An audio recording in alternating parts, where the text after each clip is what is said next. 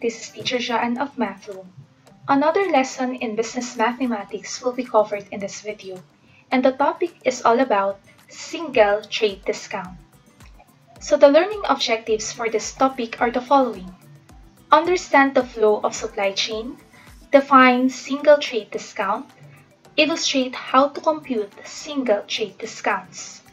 The essential question we have for this topic is how to compute for a single trade discount and what is this for. Let's say you own a retail store that sells branded rubber shoes. Have you ever wondered about the process how the shoes go through before it reaches your store? As a business owner, it is necessary to be knowledgeable on the processes involved from the making of the rubber shoes up to the selling of it. And this idea is called supply chain. So let us discuss the flow in the supply chain. A supply chain comprises stages of the processes involved starting from the making of a product up to the selling to a customer. So the supply chain shows the movement of materials as they flow from their source going to the customer. So in the supply chain, the first is the manufacturer. The manufacturer is the one in charge to convert raw materials into finished products. These products are now being transferred to a distributor that is responsible in dispensing the products to wholesalers whose role is to sell the products in bulk to companies or retail stores and not to individuals. The retailers are held responsible to sell the products to customers for their own use. So here is the diagram that represents the supply chain. In these stages in the supply chain, the idea of giving trade discounts is frequently used, and this discount is usually based on the volume of products purchased being provided by the manufacturers, distributors, and wholesalers. Commonly, discounts are either in the form of an amount deducted from the original price of a product or in a form of percentage that is used to reduce the price of a product. With this, let us now discuss trade discount. What do we mean by this? When we say trade discount, it is the least price reduction that a business may offer to its business customers. Typically, it is offered between manufacturer and wholesaler or between wholesaler and retailer. Usually, this trade discount is occur when a purchaser meets certain conditions to qualify and it is a reduction in cost from the normal retail price on goods. Let us use this real-life scenario. A certain distributor of a branded rubber shoes provides a 15% discount to its wholesaler who purchased 1,500 pieces of rubber shoes in a month. Instead of paying 4,500,000, the wholesaler will just pay 3,825,000 pesos because of the given discount. So in this scenario, the 15% is what we call the trade discount rate. The 4,500,000 is what we call the list price. And the 3,825,000 is the net price. Let us define each term. When we see trade discount rate, it refers to the percentage of the discount. List price refers to the price of the product without the discounts.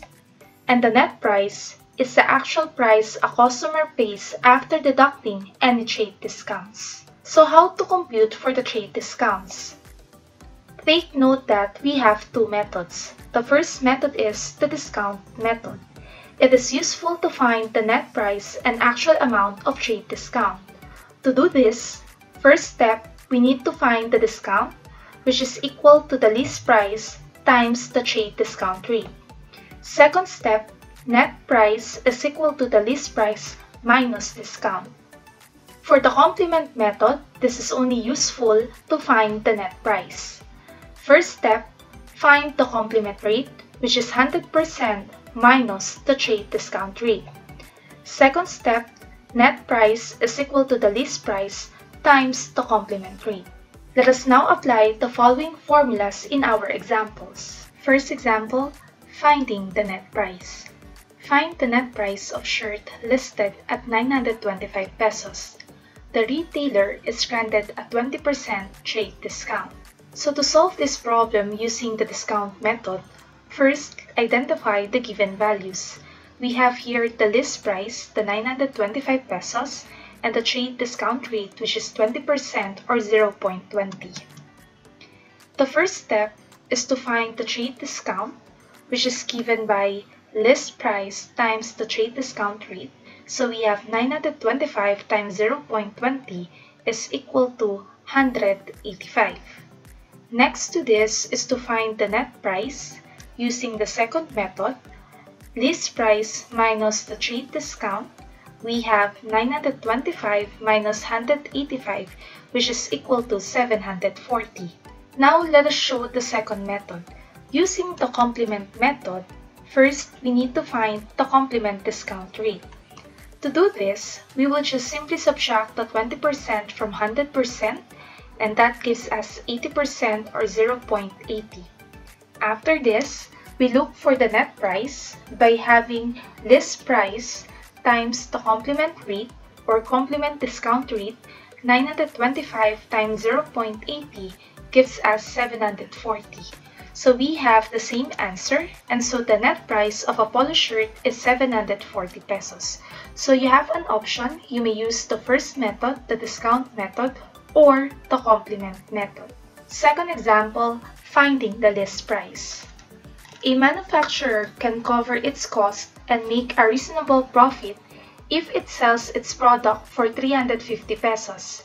At what price should the product be listed so that a discount of 35% can be allowed. According to the problem, we are looking for the list price. So first, identify the given values.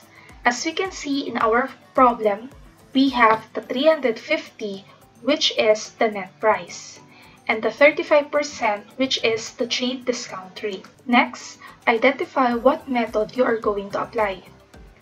For this problem, only the second method can be used to find the list price. So in order to do that, first, identify the complement rate, and that is 1 minus 0.35, which is 0.65, the complement discount rate. Second step is to substitute the values to our formula, which is the net price is equal to the product of the list price and the complement rate and then after this, divide both sides by 0.65 since we are looking for the list price. So we have 350 over 0.65 and this is equal to 538.46. So meaning to say, the product is listed at 538.46 pesos. Third example, finding the discount rate. A dining table is listed in a wholesaler's catalog at 4,210. The dining table is sold to a retailer for a net price of 3,800. What trade discount rate was given? So first, identify the given values. We have here the list price of the dining table, which is 4,210, and the net price is 3,800. So first, let us identify the given values. We have here the list price, 4,210, and the net price, which is 3,800. And to look for the trade discount rate, we need to apply the first method or the discount method. To do this, let us have step number one. Let us find the trade discount using the formula net price is equal to the list price minus the trade discount Substitute the two given values. We have this equation, 3,800 equals 4,210 minus the trade discount. Manipulate this equation, make TD positive. So we have TD is equal to 4,210 minus 3,800 and this gives us a value of 410. Let us now have the second step. The second step is given by the formula TD is equal to the list price times the trade discount rate, which is what we are looking for. So the TD is 410 equals LP 4210 times the TDR. To find the TDR, we need to divide both sides by 4210. So the TDR is 0.0974 or 9.74%. So we can now conclude that the trade discount rate of a dining table is 9.74% from the list price of 4,210 going to the net price 3,800. After discussing how to solve the trade discount using discount method and complement method, this is now the time to check your understanding. Kindly complete this table by finding the missing terms. You may pause the video so you could answer this problem. Let's check our work. First, the trade discount is 3,072, net price 22,528, Next, we have the trade discount rate, which is 9.31%. And last, we have 6,575 as the net price. Let us have a word problem. A 17.5% discount on a headphone amounts to 560. What is the list price? Again, you may pause the video so you can answer this item. Let us answer now. The answer here the list price is 678.79. Were you able to answer these problems? If yes, great job. Here are the key takeaways for this topic. When we say trade discount, it refers to the list price reductions that a business may offer to its business customers. And there are two methods that we can use. We have the discount method, which is useful to find the net price and the actual amount of trade discount and we have the complement method which is useful to find the net price. So here is the end of this video. I hope you have learned a lot. I hope you will continue to subscribe on my YouTube channel, watching all of my videos, put some comments and share it to your friends. Bye everyone, see you on my next video.